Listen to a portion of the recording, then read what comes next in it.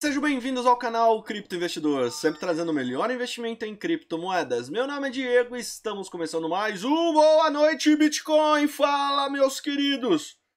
Tudo em ordem? Como estão vocês? Que loucura foi hoje! Tô acabada! Meu batimento deve ter chegado a uns 200 batimentos por, por, por segundo! Por segundo! Foi uma loucura hoje, não consegui nem gravar vídeo hoje de manhã. Agora que o nosso querido BTC resolveu dar uma pausa, dia inteiro fazendo trade, a galera no grupo tudo maluco, ajudando o pessoal do grupo do plano VIP, tentando ajudar o pessoal também do, do, do, do, do público, do nosso grupo público. Então, tentando passar orientação para todo mundo, um monte de mensagem particular no privado. Que caos foi hoje! Foi uma loucura! E o BTC veio testar aonde? Veio lá testar os 6,500, sai mosquito.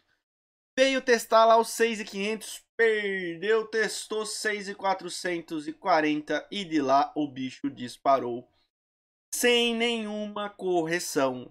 As máximas de correções que tiveram foram de é, 236, no máximo 382 dentro dos movimentos que, que isso implica, o que, que aconteceu. A gente vai falar do BTC neste vídeo. Então, para você que está assistindo, já deixa o like, deixa seu comentário também. Se não é inscrito, se inscreva no canal. E se não faz parte do nosso plano VIP, tá perdendo tempo. Vem pro plano VIP. É só assinar criptoinvestidor. Acesse criptoinvestidor.net e assina o nosso plano lá, beleza? Galerinha, vamos conversar sobre o BTC. E para quem ainda não está no nosso, no, no, não tá dentro do grupo público, só acessar arroba criptoinvestidor, fica aparecendo embaixo aí, ó. No Telegram, aí você cai pro grupo público também, tá? A gente passa orientação lá também. Gente, vamos falar então do BTC. Que raios aconteceu, certo? Então o BTC tinha batido lá os, os 7800, entrou lá dentro do canal de, de baixa, perdeu o canal, veio, testou 7400, fez quase com fundo duplo, não chegou a ser fundo duplo, que nem eu tinha falado ontem. Porque ele fez uma nova mínima, tá? Ele perdeu um pouco ali, perdeu 6,500, perfeito? Isso daí, galerinha, foi uma loucura. Fomo, galera entrando para comprar que nem maluco, tá? E onde que ele iria testar? Onde eram as resistências? Uh, 6, 6, 9, 6,800, 6,900, 7, 7,200 e 7,400, certo? Dá um pouquinho mais, 7,440 a 7,500. Por que 7,500? 7,500 está a média, uh, a EMA, né, a média móvel exponencial de 200 períodos. E em 7,400 tá, e se encontra aí, 7,436, se encontra a nossa média móvel de 200 períodos, que foi onde o BTC foi lá, bateu, cravou e, coincidentemente, bate com o topo desse canal, onde nós tivemos, até o momento, quatro toques. Diego, e agora, meu querido? O que que eu faço? Eis a questão, tá? Eis a questão. E vamos falar o porquê. Se a gente olha esse movimento... Peraí, só um momentinho, por favor.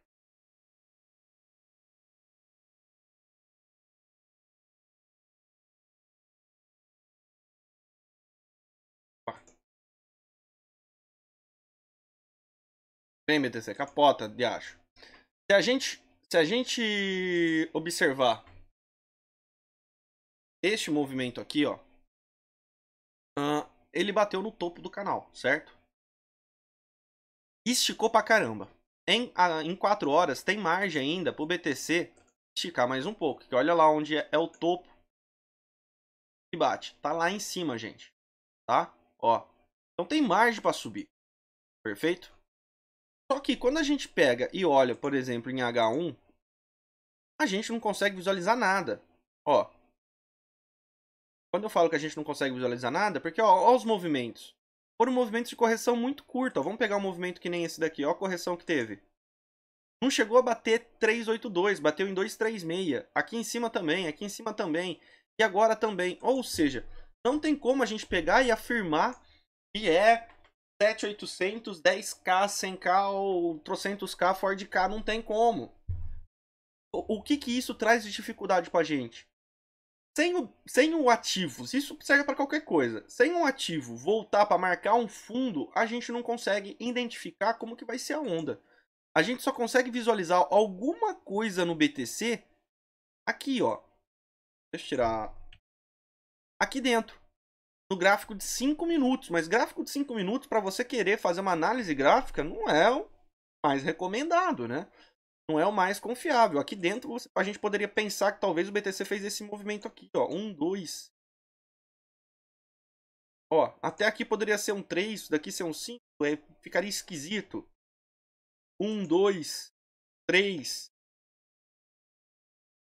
quatro, cinco. Pode ser, o que, que representaria isso daqui? Isso daqui seria uma onda de 2.618 dentro do movimento. Ó, tá entendendo? Pode ser qualquer coisa. O que, que a gente precisa do BTC? A gente precisa que o BTC corrija agora um pouco para a gente conseguir identificar qual que vai ser o movimento dele. E a gente pode dar também para se basear é o que? Eu já ensinei. A gente pega a Fibo e traça Fibonacci. Perfeito? Até o topo, tá? é o que eu tô tentando verificar, ok, qual que é o movimento. Tá muito difícil da gente conseguir ter esse movimento. Seria basicamente isso daqui, ó. Tá querendo perder esse, essa linha de tendência de alta de 5 minutos. Vocês me conhecem, eu não faço análise em 5 minutos, tá?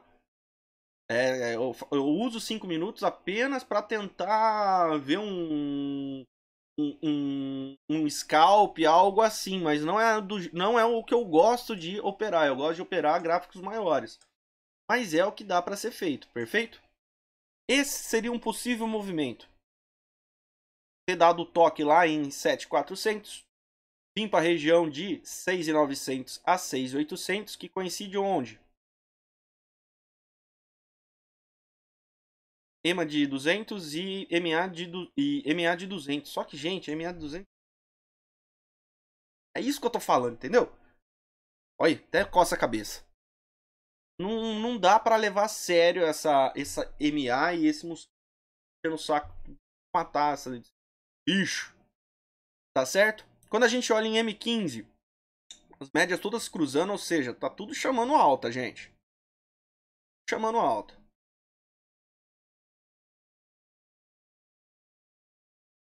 Aí, quando a gente dá uma olhadinha no gráfico de uma hora, a gente vê que a média, que pode dar uma segurada no BTC, está em 382. Seria um padrão parecido com o que aconteceu com o BTC até o momento nessa subida. Não corrigiu até 382, ele corrige até 236 e continua subindo. Por enquanto, pode repetir. Pode ser que nem venha a correção, vem aqui, ó, e já vai direto lá para cima, para 7800, tá? Então tá bem complicado. Por que 7800? Porque 7800 é topo aqui, ó é uma resistência. Essa resistência já foi gerada, perfeito? Atualiza!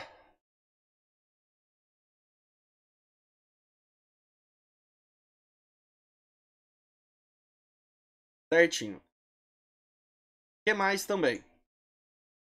Uh, ainda, ainda, deixa eu arrancar isso daqui que senão fica ruim de visualizar. Certo?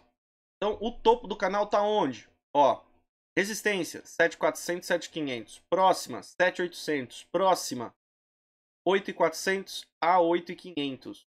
Então, nós temos resistência aqui, resistência aqui e resistência aqui. Só que aqui em 7400, 7500 tem um bônus aí. Se romper essa região, se romper 7500, 7520, vai estar tá falando que o quê? Rompeu o canal de baixa, ele vai vir buscar 7800. Rompeu 7800, 7, é 8400, 8500. Então tem esse bônus aí que é o quê? Rompendo o canal de baixo, o que, que acontece quando rompe o canal de baixo? Tende a subir. Ah... Outra coisa também, tá? Eu tava até falando com o Arthur, o Arthur pegou e falou, Diego, a gente não pode descartar isso não.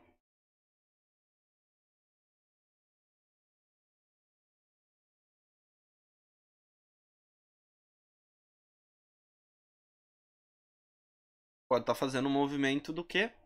Triângulo descendente também. Ou seja, aqui seria o topo. E aí depois vem mergulhando. Certo? É, galerinha, tá difícil. Tá difícil. Por que que tá difícil? Pra gente conseguir traçar uma onda, traçar uma projeção, fazer qualquer coisa, a gente precisa que o BTC corrija e marque um fundo. Então, tipo, tá subindo, subindo, subindo, precisa voltar a marcar fundo. Aí marcou fundo, então formou uma onda 1, 2 para projetar uma 3, tá? É assim que funciona. Ou A, B, C para cima. Precisa fazer um fundo para marcar o movimento. Sem fazer o fundo, a gente fica às cegas. Puro achismo e tá acontecendo um fomo do caramba. Detalhe, se a gente pegar H1, RSI tá esticadão. Mega esticado já. A máxima do, do RSI em H1 foi 88. Tá quase chegando lá, ó. Chegou a bater 85. E aí agora tá dando uma corrigida. Então, gente, é aquela coisa. Você pode tentar entrar agora, se arriscar. E pode acontecer de você tomar uma pancada na cabeça, porque ele começa daí a entrar em correção. Vai testar segurar em 7, não segura, vem parar aqui em, em 6,800. Ou vem testar 6,500 de novo e vem para fundo do canal em 6,200. Ou seja, tá lascado, tá? Tá lascado. Se você quiser fazer uma entrada agora, saiba dos riscos, perfeito? Ou quer fazer uma entrada mais segura. O que, que seria uma entrada mais segura? Nosso, o, o gráfico diário já ajuda a gente com uma possível entrada mais segura sim, tá esticado, tá? Risco vai existir. Fazer uma entrada onde? Acima de 7,450. Que aí seria rompimento de topo. Eu teria que posicionar o stop embaixo aqui do último candle. Isso se ele vir subindo, né?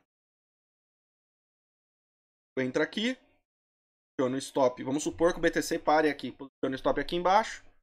Alvo 7800. Aí você. Aí, desculpa, gente. Desculpa o vídeo de vocês aí. Tô tentando matar o mosquito. Ele tá uma hora me enchendo o saco. Ah, perdão, tá? Isso daí seria. Oh, meu Deus. Isso daí seria o possível, possível, uma possível entrada, tá? Ou aguarde para ver o que, que vai acontecer. Perfeito? Eu, se eu fosse entrar no BTC, eu entraria acima de 7,500 tá? Ou entraria entre 6.900 a 6.800 para tentar pegar um movimento desse daqui assim, ó. E mesmo assim, você pode aguardar a entrada onde? Acima de 7.450, 7.550. Essa regiãozinha aqui, ele já vai estar tá para fora desse canalzinho de baixo que formou, tá? Perfeitinho?